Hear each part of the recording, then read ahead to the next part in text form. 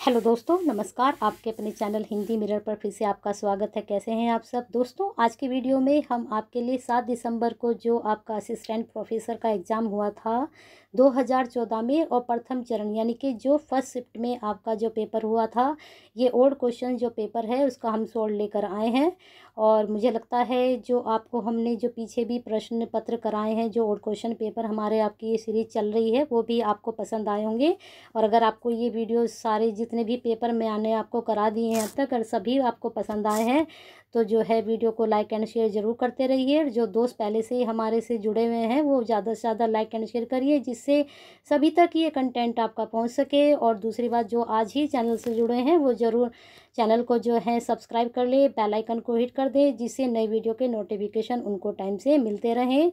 दोस्तों, ये जो ओल्ड क्वेश्चंस की सीरीज़ आपकी चल रही है, इसको हम सोल्व करा रहे हैं तो मुझे लगता है ये सभी को जो है जो है अच्छी लग रही होगी और ये आपके बेनिफिशियल भी लग रही होगी और अगर लग रही है तो दूसरों का भी बेनिफिट हो, उनको आप जो है लाइक करिए और शेयर कीजिए। चलिए, प्रश्न पर चलते हैं।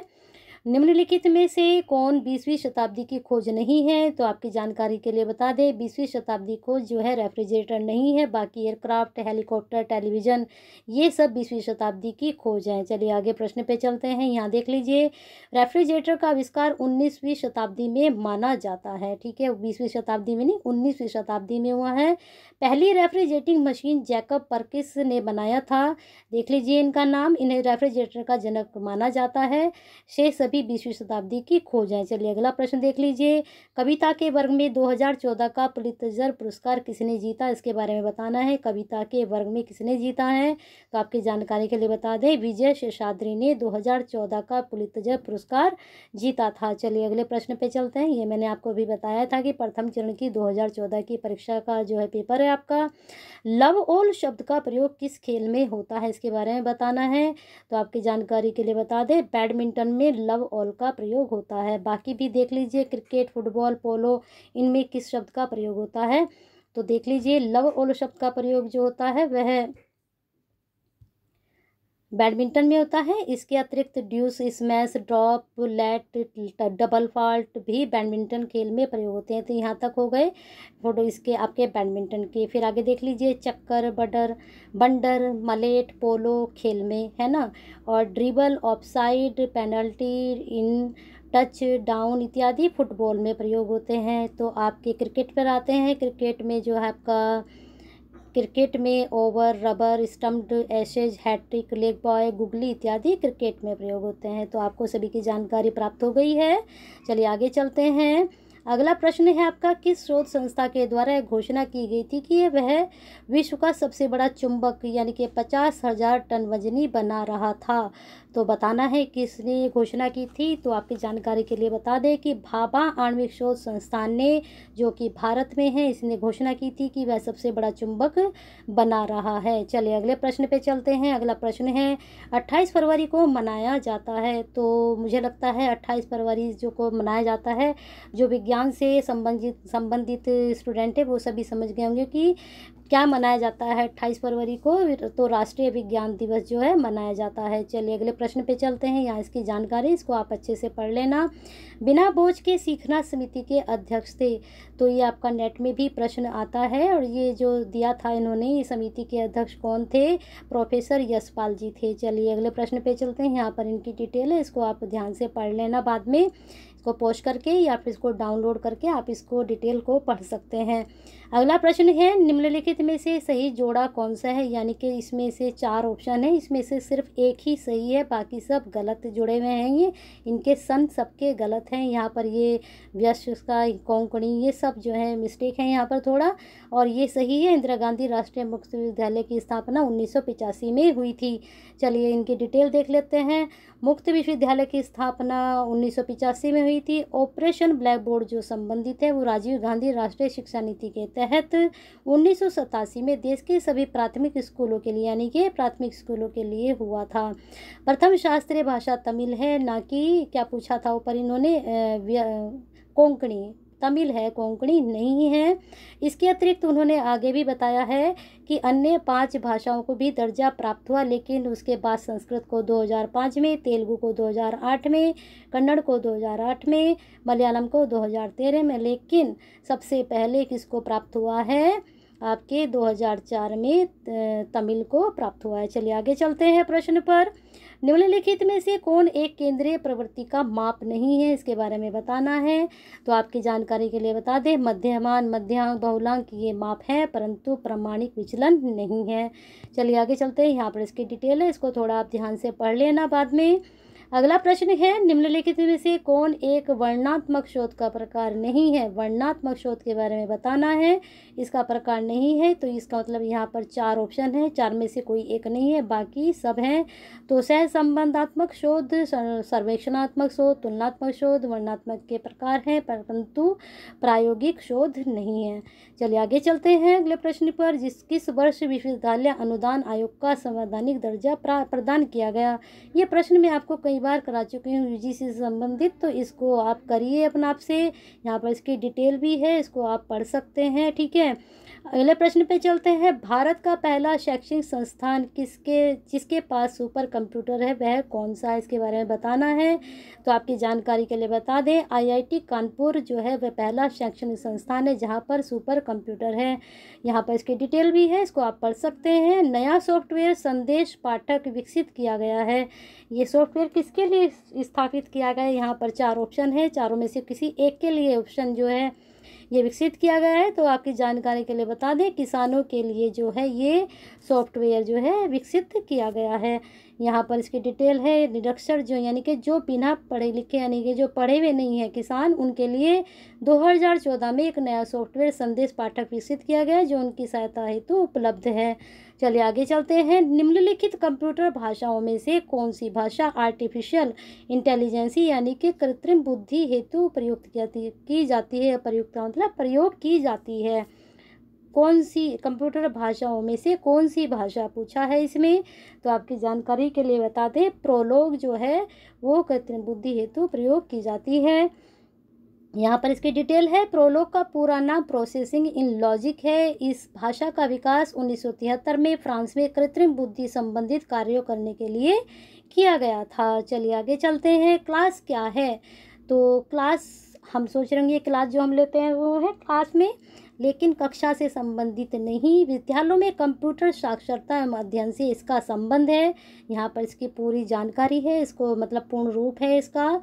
जो कहते हैं फुल फॉर्म है इसकी, देख लीजिए क्लास का संबंध क्या है, पूर्ण रूप क्या है? सी से कंप्यूटर एल लिटरेसी ए से and S studies and in school ठीक है? विद्यालयों में कंप्यूटर साक्षरता एवं अध्ययन है तो इसको अच्छे से पढ़ लेना, ये प्रश्न आपका आ सकता है एग्ज़ाम में। अब चलते हैं अगले प्रश्न पर।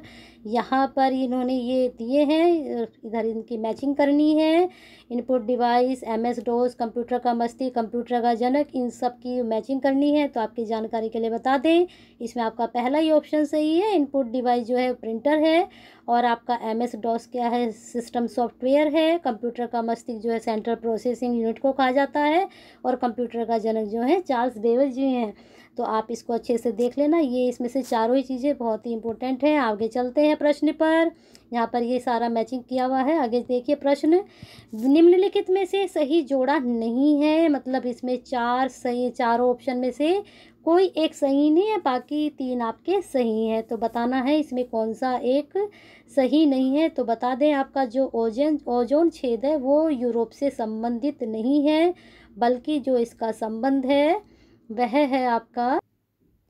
वह संबंध जो है, लिख लीजिए आप, अंटार्कटिका से है, ठीक है? अंटार्कटिक से है। इसको लिख लीजिए, यूरोप से इसका संबंध नहीं है। चलिए अगला प्रश्न देख लीजिए। अगला प्रश्न है आपका जैव पारिस्थितिक सबसे समृद्ध है। कहाँ का समृद्ध बताना है इसमें? तो आपका इसमें उत्तर क्या हो जाएगा? देख लीजिए, इसका उत्तर जो आपका ए हो जाएगा। उष्ण कटिबंधीय क्षेत्रों में सबसे समृद्ध माना गया है किसको? जैव पारिस्थितिक को, ठीक है? चलिए अगले प्रश्न पे चलते हैं। अगला प्रश्न है, संयुक्त राष्ट्र संघ ने 2005-2014 के दशक को घोषित किया है। 2005 और 2014 के दशक को घोषित किया था और संयुक्त राष्ट्र संघ ने क्या घोषित किया था बताइए? तो सतत विकास के हेतु शिक्षा का दशक। ठीक है, बहुत अच्छा ये प्रश्न है, इसको ज़रूर नोट डाउन करें, यहाँ इसकी डिटेल है। संयुक्त राष्ट्र ने 2005-14 के दशक को सतत विकास हेतु शिक्षा का दशक घोषित किया है। अगला प्रश्न है, great Himalayan national park G N G H N P स्थित है। ठीक है, कहाँ पर स्थित है ये तो बताइए। सभी को पता है कि ये हिमाचल प्रदेश में हिमालय संबंधित है तो हिमाचल प्रदेश में है। अगला प्रश्न देख लीजिए, यहाँ पर ये गौरा देवी प्रास्तिकी ग्लेशियोलॉजी पृथ्वी देव सिंह यहाँ पर इसको मैचिंग करना है। इन चारों को तो आपका इसका उत्तर क्या हो जाएगा? इसका उत्तर आपका है ए, ठीक है, इसको मैचिंग करते हैं हम एक मिनट इसको मैचिंग कर लेते हैं पहले। तो इसका उत्तर हमने ए बताया है तो तीन, चार, एक, दो तो मैच करिए। गोरा देवी, चिपको आंदोलन पारिस्थितिकी आपकी जो है वो A P A ji, Tansley और ग्लेशियोलॉजी जो है वो ग्लेशियर से संबंधित थी तो बिल्कुल अच्छे से मैच हो जाएगा। और पृथ्वी दिवस जो मनाया जाता है, वह बाईस अप्रैल को मनाया जाता है।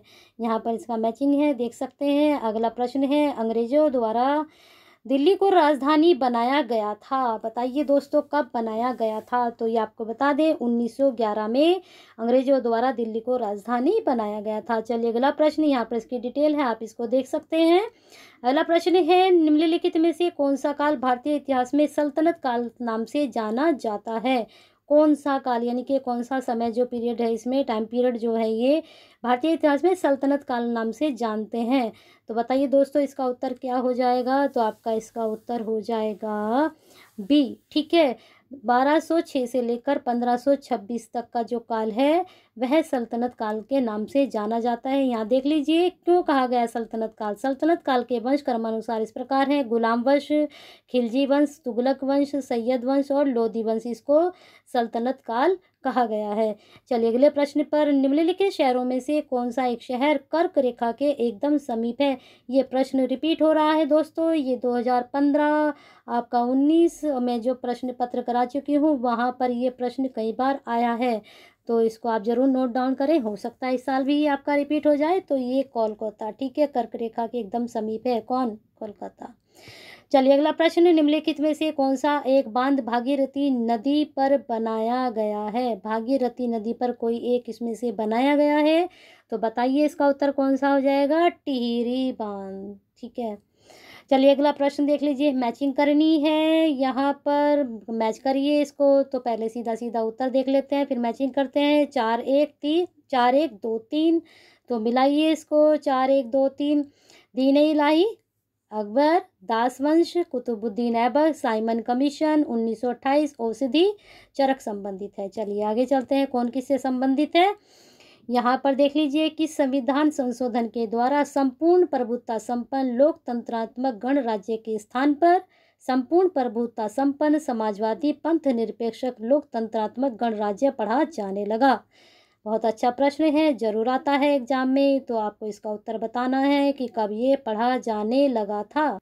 तो आपकी जानकारी के लिए बता देते हैं, बयालीसवें संशोधन द्वारा जो है इसको संपूर्ण प्रभुत्ता संपन्न लोकतंत्रात्मक गणराज्य की जगह क्या पढ़ा जाने लगा? संपूर्ण प्रभुत्ता संपन्न समाजवादी पंथ निरपेक्ष लोकतांत्रिक गणराज्य। तो देखिए इसमें शब्द क्या जोड़ा गया है, इसको थोड़ा ध्यान से पढ़ लीजिए आप। अब देखिए यहाँ पर ये एज इट है। लोकतांत्रिक गणराज्य जो है ये भी एज इट है, लेकिन यहाँ बीच में समाजवादी और पंथ निरपेक्ष जोड़ा गया है। तो आपसे यही प्रश्न दूसरे तरीके से कैसे पूछा जा सकता है? ये पूछा जा सकता है कि समाजवादी पंथ निरपेक्ष शब्द कब जोड़े गए संविधान संशोधन के द्वारा? तो बयालीसवें संशोधन के द्वारा जोड़े गए। ये प्रश्न वैसे इस तरह से आता है, लेकिन यहाँ पर देखिए ये प्रश्न किस तरह से पूछा गया है है ना, घुमाने वाली बात स्टूडेंट को। चलिए आगे चलते हैं। भारतीय संविधान में हैं, कितनी अनुसूचियाँ, कितने अनुच्छेद हैं? तो आपको बताना है। तो आपको यहाँ पर जो है ये राइट आंसर नहीं है। अनुच्छेद में कई बार आपको बता चुकी हूँ कितने अनुच्छेद हैं, कितनी अनुसूचियाँ हैं। जो मेरी संविधान वाली वीडियो है प्लेलिस्ट में, उसको जाकर देखिए। वहाँ पर मैंने आपको सही अनुच्छेद और सही अनुसूचियाँ बताई हैं। ठीक है, चलिए आगे चलते हैं। रेनबो क्रांति संबंधित है। किससे संबंधित है रेनबो क्रांति? बताइए किससे संबंधित है? रेनबो क्रांति के बारे में आपको बताना है। मुझे लगता है इससे सभी बच्चों को पता होगा कि रेनबो क्रांति क्या है। कृषि एवं संबंधित क्षेत्रों के समग्र विकास से संबंधित रेनबो क्रांति है, ठीक है? चलिए, आगे चलते हैं। यहाँ पर इसकी डिटेल है। इंद्रधनुषीय क्रांति, सभी प्रत्यक्ष या अप्रत्यक्ष रूप से देश की कृषि क्षेत्र में आई विभिन्न क्रांतियों को एक साथ लेकर चलने से संबंधित है। रेनबो यानी कि इंद्रधनुषीय। है ना? अगला प्रश्न देख लीजिए। उन्नीस सौ बहत्तर में प्रारंभ की गई गारंटीड रोज़गार योजना सर्वप्रथम प्रारंभ की गई थी। तो बताइए दोस्तों, कब की गई थी? उन्नीस सौ बहत्तर में प्रारंभ की गई गारंटी रोज़गार योजना सर्वप्रथम प्रारंभ की गई थी, यहाँ पर कहाँ की गई थी इसके बारे में बताना है। यह कहाँ की गई थी तो आपकी जानकारी के लिए बता दें, यह महाराष्ट्र में प्रारंभ की गई थी। कौन सी योजना? गारंटीड रोज़गार योजना। इसकी डिटेल है आप इसको पढ़ सकते हो। अगला प्रश्न है, बालकों के लिए मुफ़्त एवं अनिवार्य शिक्षा का अधिकार अधिनियम 2009 में प्रभाव में आया। मुफ़्त एवं शिक्षा कब ये प्रभाव में आया था? वेरी इंपॉर्टेंट प्रश्न लास्ट का ये, इसको ज़रूर नोट डाउन करें। ये मतलब दोबारा भी आपका रिपीट हो सकता है। तो ये एक अप्रैल 2010 को प्रभाव में आया था। कौन सा? शिक्षा का अधिकार अधिनियम 2009 ठीक है? इस प्रकार से आपके थर्टी प्रश्न हो चुके हैं। और ये जो मैंने प्रश्न आपको अभी कहा है कि मैंने ये आपका जो संविधान वाली वीडियो वहाँ आप इसको चेक करिए। तो ये तो आपके अनुच्छेद नहीं है सूची अभी आपकी बदल चुकी है, अनुच्छेद भी आपके बदल चुके हैं। और अगर आप नहीं देखना चाहते हैं तो मैं आपको बता देती हूँ वीडियो इसी वीडियो में चार सौ जो बावन है, अब आपके अनुच्छेद हो चुके हैं, पच्चीस आपके भाग हो चुके हैं और बारह अनुसूची हो चुकी हैं। पहले कितने भाग थे जब संविधान लागू हुआ था? तब बाईस थे, अब पच्चीस हो चुके हैं और जब अनुच्छेद जब आपका संविधान लागू हुआ था तब दूसरे अनुच्छेद थे, अब जो हैं चार सौ बावन हो चुके हैं। वैसे वह इस क्वेश्चन से ही संबंधित जो है आपको नहीं जानकारी प्राप्त हुई थी तो इसमें हो गई है। परंतु अगर आप मेरी वो अनुच्छेद मतलब जो संविधान वाली जो वीडियो है, अगर आप उसको देखेंगे तो वहाँ से आपको और भी करंट में जो है पता चलेंगी, क्योंकि बहुत से जो है पुरानी पुराने क्वेश्चन डाल देते हैं और नई जानकारी आपको प्राप्त नहीं हो पाती है। तो वो वीडियो अगर आप देखेंगे तो आपको नई जानकारी भी उसमें मिल जाएँगी। और उसके मैंने तीन पार्ट बनाए हुए हैं। पसंद आएगी तो ज़रूर उसको लाइक एंड शेयर करिए और साथ में इसको भी, क्योंकि आपका एक लाइक एंड शेयर ही ये दूसरे बच्चों के लिए भी फ़ायदेमंद होगा।